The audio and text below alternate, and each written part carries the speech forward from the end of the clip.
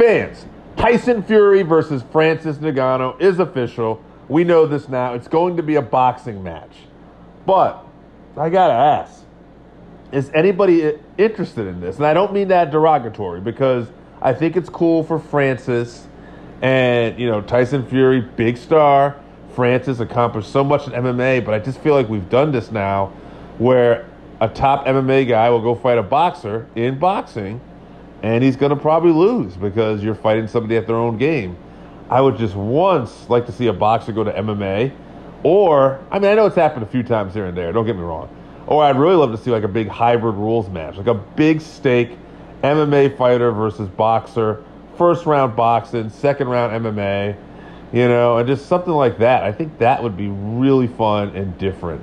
You know, two top players like a Fury and Ngannou doing something like that would be a lot more interesting and entertaining to me. But I'm interested in hearing from you fans today. Let me know. Are you going to buy this when it comes out? I mean, I might do it just out of mere curiosity, and I'm rooting for Francis just because he's such a huge underdog, and you know, I I just can't help but root for an underdog. That's just me. But you know, it's hard to go against Tyson Fury. It's he's such a he's got to be such an overwhelming favorite just because it's in his, you know, it's in his ring. It's his, he's a boxer. But what do you think, fans? Are you interested, and who do you think is going to win? Let me know in the comments.